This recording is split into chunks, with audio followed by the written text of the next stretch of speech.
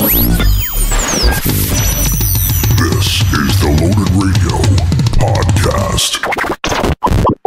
All right, thanks for tuning in to another edition of the Loaded Radio podcast. And I'm Scott Penfold from Loaded Radio. And uh, this week it's a special one as we're going to be going a full 30 minutes. Yeah, doing the full 30 with a couple of guys from the band Monuments. Yeah, we're going to be talking with John Browne and Mike Malyan from uh, just a great British progressive metal band. And uh, they've been around since 2007. Their fourth studio album, In Stasis, is dropping this month, which features Mick Gordon as co producer with Spencer Sotelo from Periphery and ex vocalist Nima Ascari as guests, too. So, a very strong release from the guys in Monuments.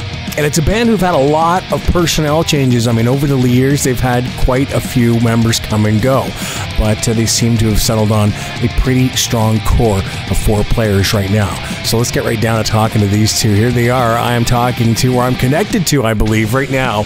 I'm connected to uh, Mike Malyan right now. Mike, how you doing, dude? Dude, really good. Thank you. I'm so sorry I'm a bit late. The last interview I had just ran a few minutes late, though. John, are you with us? I am with you. Sorry, Mr. somewhere. Kolb. Oh, man. There he is. Yeah. Yeah, sorry, I was waiting in the waiting room, so I just called Mike quickly to let me in. Oh, Yeah, sorry about that. Yeah. Yeah, basically, I took a sip of coffee and then Mother Nature did what she does best, informing you when you need to go. well, you know what? It's, it's great to have both you guys here uh, with with me today. And, uh, and Stasis just sounds killer, man. Uh, I think this is going to be a solid release, guys, and uh, great work. Thank, Thank you very so much. much, Have you- man. I haven't heard the whole record yet. Only I've heard about four tunes. Okay, perfect. That's Yeah. four. That's more than more than some people have heard. that is we've it? had some interviews Yeah, yeah, with. yeah. Yeah, But thank you so much for taking the time. yeah. time. Thanks for taking the time. You know what? Let's just dive right into the album first off. Now, um, I know that uh, that Mike, you did some of the production uh, with John, of course, and Andy Cizek. Uh, how did you guys find working together uh, in a production uh, sense with the album? It was a really interesting process. We were hot off the heels of a massive, massive lineup change with our guitarist leaving. So I kind of had this kind of pressure on me to go, be like, well, now the only instrumental writers are me and Browne. And I kind of just want to be there to support him and uh, help him to feel like his ideas are, are there. There were a lot of tunes that I think he thought were terrible and thrown out. And one of them was Cardinal Red. Oh, really? Andy helped, Andy helped bring that out of the bin. Andy was great with that as well. It was just an entirely new process that had uh, shadows of how we used to feel when we very first started writing together in 2010. Um, but it was just a deve- it felt like a development off a very old process from a Yeah. completely different point in our lives. Um, and yeah, it's just been a really interesting difference. But um, yeah, I think it we just kind of let it become whatever it wants to be. We just let it Yeah. take control, didn't we? I think that with the producing side of it, it was more. I think that when you write individually, you get inside your own head and think everything's a bit shit, which definitely happens to me with every single song. And I think it happens to most people if they listen to something too many times. So with um, everyone getting involved in the producing side of it, it meant that you know people's ideas could be come to the table and anything went but also it stopped us from really giving us an opportunity to think about whether or not something was good or bad. If you know if two people liked it then it stayed. If two people didn't like it then we changed it up. Yeah, there was only one point where we had like uh, we had a veto on like two people. We were both about one thing, but Andy was really against it. So we were like, "Well, we'll give you this one because you can't get over it, but we're going to take another one later." Oh, and it was like that's fine. It was so really like cool. currency. Yeah. Oh, do you remember? Exactly. It was it was the makeshift intro. He couldn't get into oh it. And yeah it was yeah, yes. he, and he was like, and we were like, well, you can't, no, we can't lose that intro. It- it- I think his song idea would have been good, but we couldn't connect with it. So, uh, but we but we really took it seriously. We were like, basically what Mike's trying to say is an uber geek and he finds every single way to make things cool I'm just obsessive. I'm just an obsessive personality. I always have been. It's what brought me to Browne.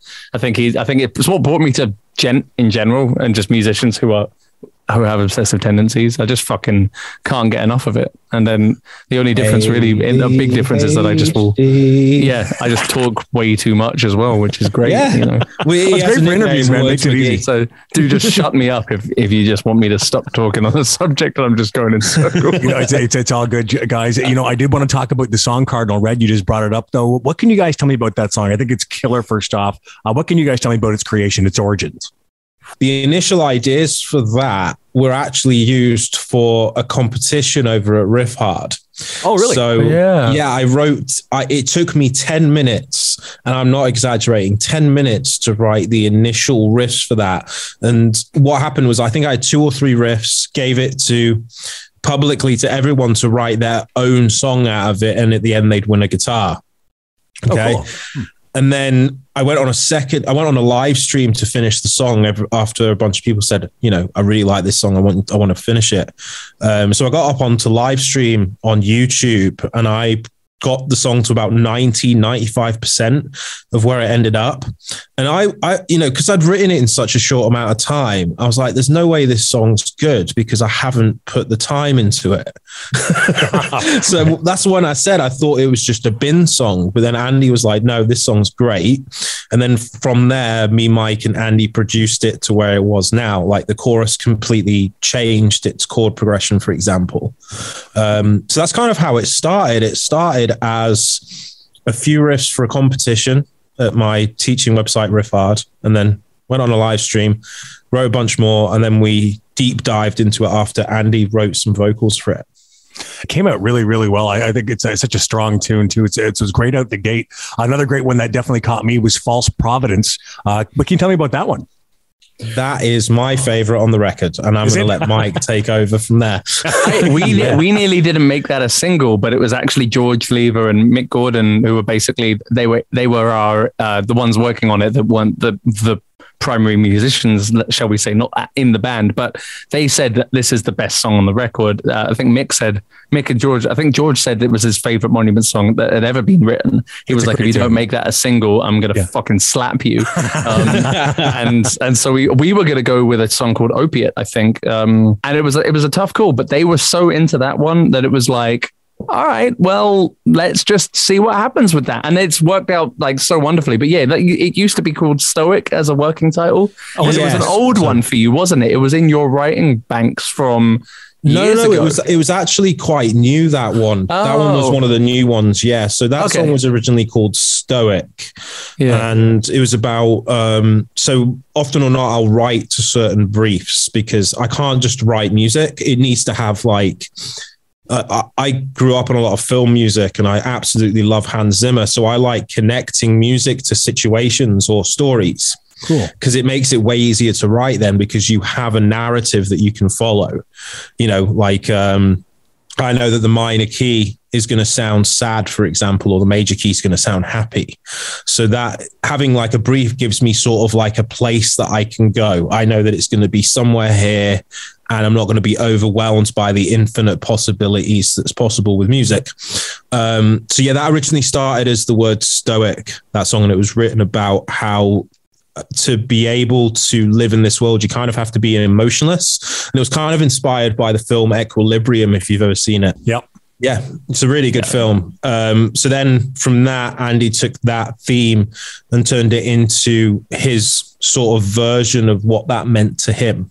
Wow. So that's kind of how that song started. And it ended up being about, you know, um, believing in something so strongly that when that belief changes, the entire world around you is shattered. Wow. That's the premise of that song. It's a powerful tune, man. And, and another great song, too. Arch Essence, we had Spencer from Periphery. Uh, how did he get involved? Uh, I'll let Mike answer this one. I As he think got that was Spencer. that was where Andy basically had written in gaps, uh, you know, because he we, he had complete control of, of what was going on vocally, and he'd kind of written it in and suggested like, should we get you know some guests on board? And we were like, yeah, who who would be the number one for you? And it, it, it didn't even take him like two seconds to reply with it's Spencer. Oh, really? eh? basically, basically, he he's a, you know Spencer's been a huge influence on Andy, and so it was a dream come true for him. Me and Browne have both filled in for Periphery at various points in our lives when Yeah. uh, members have had injuries. So we had this great uh, connection with with Spencer. Um, you know, decent decent friends, and we and, and and I just kind of wrote him. I was like, it was kind of like when Browne asked Mick, just wrote him a message like, "Do you want to do the thing?" He was like, "I'll do the thing." Yeah, uh, it's like so, which for most people would be like, "What the fuck do you mean you just gave him a message?" It was like, "Do you want to do it?" He's like, "Yeah." It's like, but that literally is just what it was like with both Mick and and and with uh, with with Spencer as well. So yeah, and also worked out really Nima well. as well. Yeah, Yeah, Nima. I was going to say Nima came back. How did that yeah, happen? well, he was pushing me for like he was like, dude, any of your friends want uh want a vocalist to feature with, and it really reminded me of when he where he was at when we were doing when we were working on Gnosis together those early days, and he was doing all those covers for like Tesseract and Chimp Spanner and stuff. I just Right. remember that he was putting all this effort and energy into either you know he's sometimes just doing vocals to songs that didn't have vocals. He just wanted to just really wanted to connect with people. He had a thirst for doing it. And i was seeing this return back in him and he was like i really just want to do it. Do you know anyone? And then i was thinking i kind of like to ask him i don't need to chat to the guys about it. And then when andy brought this up like i've got this other spot for this other song. Who else do you think? I was like well, Neem's kind of wanting to do it, and you know things are cool. it would be such a sick way to like, and now it's a sandwich. The first thing we ever released, and Yeah. the last thing that, now that we've released, both have him on it, which is fucking wicked. Like it's just, and you know he, uh, it's a huge part of what made Fell Silent Fell Silent. Um, you know, and it's just great to have that energy that was such such a prevalent fighting founding feature of what made our band like I don't know what made it work in the beginning to have that featured in. And then it also accidentally then ended up being on the initial song, which is now extra awesome because it's like, Yeah. it, I, you know, an album kind of sets a tone on that first one. So it's kind of like, yeah, Yeah. I think it's just wicked. Such a cool Certainly so. And and you know, like Nemo, of course, we talked about who's used to be in the band. Why do you think there's been so many lineup changes thus far with Monuments? Oh, we're I just a think- bunch of assholes. Yeah, basically, yeah. well, I, I kind of like. I think it comes down to two different things, actually.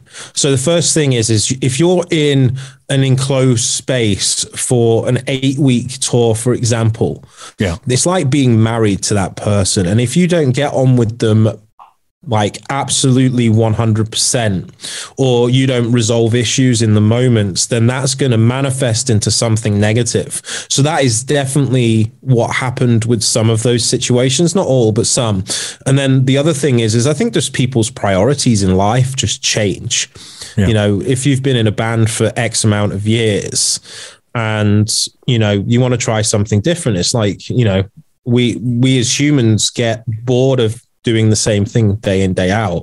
Re- re- you know repetitiveness just isn't in some of our you know it's not something that some of us want to do all the time. So i think that it's a combination of you know making sure that you get along with someone really really well and they're willing to devote their life to it. But you know people can change. People Yeah. always change. I've definitely changed in the last 12 years you know um and you know it's a shame that you can't have the same people all the time in the same band but it happens nearly to every single band there's very rare that the same bands have the same founding members in these days anyway Right. Well, how, how do you how are you finding John the current lineup of the band? Do you see this as as a solid unit currently? Oh yeah, I mean Andy is fucking great. Like uh he actually inspired me to write this record, truthfully. He was the one Um, pushing the hardest. He was the one who made us sit down Yeah. and listen to those demos. Oh, really? Okay. yeah, he, he, he was the one who was Yeah. fighting and, and then actually is just making an effort of telling Browne, this is great. This is the one I want you to work on next. Send it to me when it's done. It was so powerful. It was like there was no option to send him a half finished idea. It was like, don't send it to me until it's done. I'm going to keep nagging you for it until I get it. Wow. It was yeah, amazing. It was it was actually fucking annoying in many ways. But I'll bet, yeah. but like you know Sure, when you spend that much time with someone like on a bus in life you know you get to like i know what browne's farts smell like i don't have to ask but the question is how much how can is that fart cool with you like can you live with that fart That's a good point. Very solid and point, I- man. now i know andy's farts i'm fucking I, they're great they're good i can i can deal with it um, It's all about the bowels, friends, isn't yeah. it? It really is. yeah, dude. Yeah, they just get, you got to keep your bowels in order. If you're not keeping your bowels in order, then it's like not keeping your life in order. Yeah, like you stay off the like- tour bus. Yeah, that's it. Yeah, just fucking, Yeah. don't- you know, just But no, like it's out. funny because when, when we first got Andy in, we actually did it as a fill-in because I think that's actually more important than anything else that you get on with them like 100%. There's nothing wrong. And I wish it was kind of a lesson that I learned earlier, to be honest, because if I was going to redo everything, so say we go back till even before Fell Silent, I would probably choose the people that I get on with best that maybe weren't as good as their, at their instruments at the beginning. Because and I, and I would suggest this to any band choose the person that you get well uh, get on well with the most in a confined space. Because you can always get better at your instrument but you can't change someone's personality And you'd mentioned that there, there are a lot of bands out there these days that have been having lineup changes. I'm seeing so many bands that I've interviewed, especially in the last, I'd say, couple of years, where th- these people don't even communicate and, they don't even like each other. It's like showing up for work and punching a clock. And I just, I Yeah. couldn't imagine doing that with someone I didn't like, you know? I, think that that can happen over many years as well, though. Like you could love someone in the beginning and then you Certainly. don't fix a problem. And you know, it, it happens to every single one of us. I mean, how how many lifelong friends does anyone have? Yeah. For it, it's weird that the public never see this side of it either. They've obviously been in these situations before. It's not that you know. I obviously don't hate anyone. Mhm. Like I wish everyone that's been in this band previously the absolute best. And I really do mean that from the bottom of my heart. And, you know, I'm not saying that everyone left because we didn't get on. You know, as I said, people's priorities in life change, but you can't expect a, a, a group of people to constantly get on. It's just not real life, No. you know? Yeah. So the human um, condition always takes precedence, of course. Yeah, Yeah, I But this mean, really does feel know. like monuments now. Like this Yeah. is foundationally like where we start from as a consistent unit. I really feel like anyway. Well, that, Yeah, you know, everyone gets on and there's no bullshit anymore. We just tell each other when we're pissing each other off, Yeah. Yeah. you know? This Well, is the that's best way to be. that's therapeutic, man. That's the way to do it. I mean, and even like you, you, Mike, you left the band back in 2015. You came back in 2020. What happened there? I, I did. I had a massive, massive injury um, that spanned open my shoulder, uh, tore a tendon, and I tore the labrum in my left hip socket. Um, and I was like, I can never do metal again. So I'm not going to take a time out. I don't want these guys waiting for me. In hindsight, if you if I'd presented that to you as an option, we were all kind of fucked from the amount of touring we were doing. Yeah. You probably would have taken the time out and worked it out with me. But at that moment, I just needed to get out of it. I was hurting too much. I had this really bad um, cycle with uh, hurting myself more the worse I got. Uh, It was a silly, silly thing, but self-loathing tied. I had lots of therapy, feeling much better now. Back then, when I left, I was like, I never again to metal drumming in general. Uh, and but I managed to get over it and. Uh, you know, got some therapy, felt good. When the opportunity came to come back to the band, the band seemed to be doing a lot better, a lot more positively. Uh, and I think looking back on it, Andy was a big part of that as well. Um, and other factors, you know, everyone just felt like it just felt like everything I ever wanted it to be back then. And I was better. And I, you know, some of my more toxic traits were kind of a bit behind me as well. We'd all healed, become looked after our home situations a bit more. And it was just like, and it was just a fucking no brainer. I remember Swanee called me. I was in the car somewhere in Poland, I think. And it was just like, yeah, I fucking want to do that again. Let's go. yeah, I, I, as I say, like I, I also think you know me and Mike have actually had our you know I've definitely said some pretty horrible things to Mike over the years, and I Oh, have likewise, I have, yeah, we've I have pissed each other off so apologized profusely because obviously you know things that happen in in moments doesn't mean it always has to be like that. You know, you just you know that's what we do. We we fight, we quarrel, and then we make up again. Yeah, that's, yeah. The, then that's the important part there, of course, that you make up again at the end. I mean, because you guys just have such a strong album right now. Look like how much it's paying off. I mean, I, this is, uh, I think this is definitely going to be a landmark album for you guys. It's just from what I've heard, at least so far, it sounds just, it's killer, man. It's great.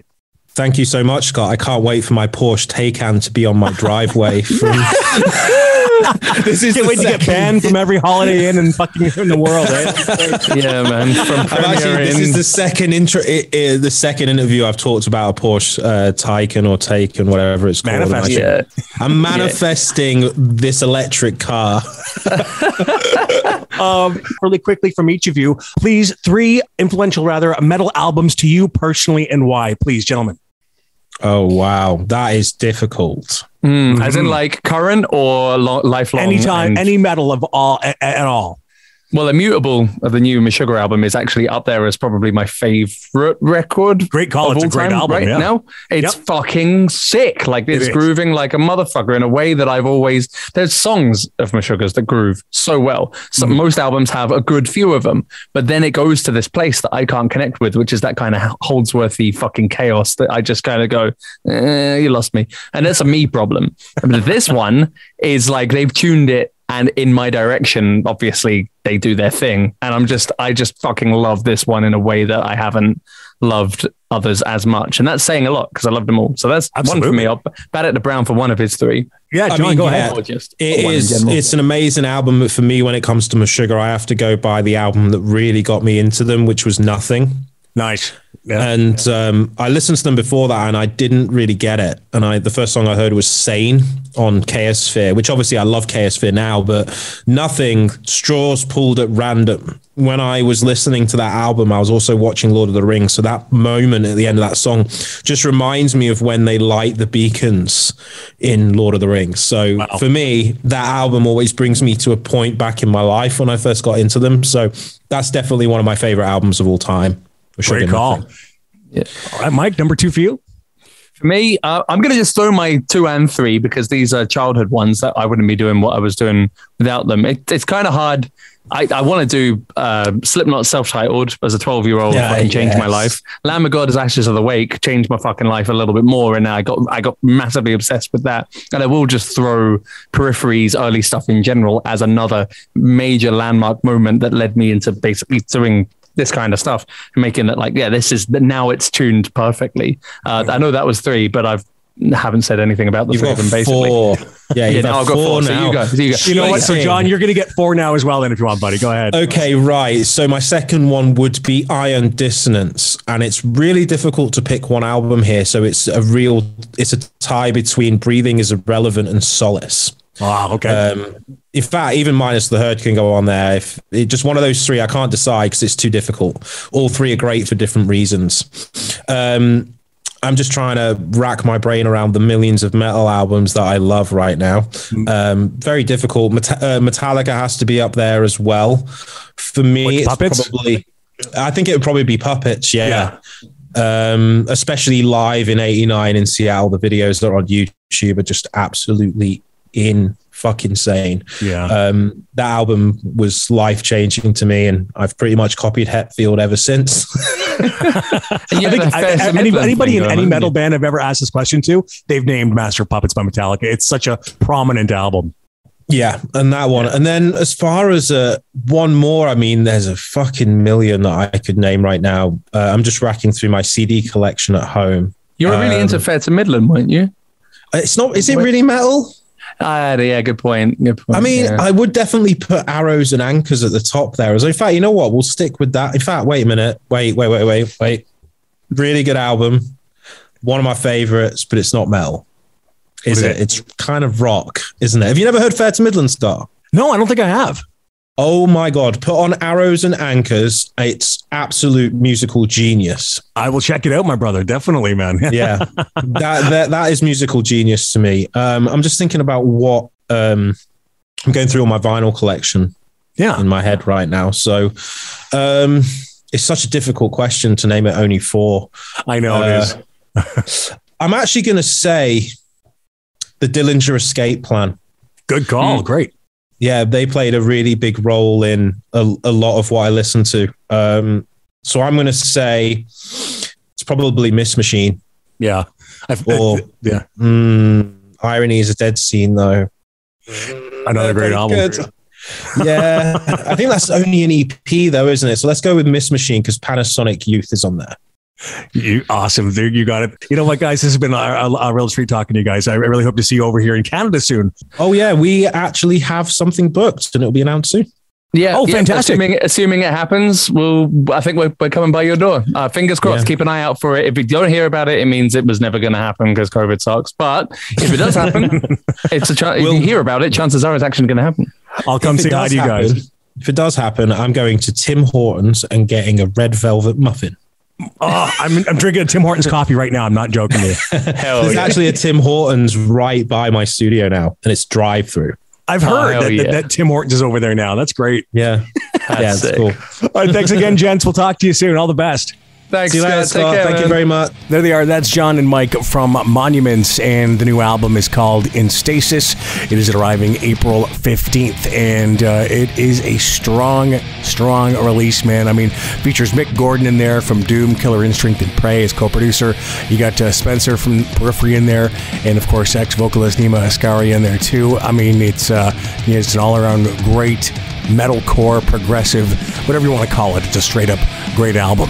As always, don't forget you can uh, get all the info you need when it comes to hard rock and metal at loadedradio.com, constantly updated with your hard rock and metal news, plus the 24 hour digital quality high end radio station. That's there for you as well. And don't forget to download the Loaded Radio app where you get all that stuff, plus these podcasts right to your device. All right? We'll talk to you again next week on an all new edition of the Loaded Radio podcast. I'm Scott Penfold from Loaded Radio. Loaded Radio.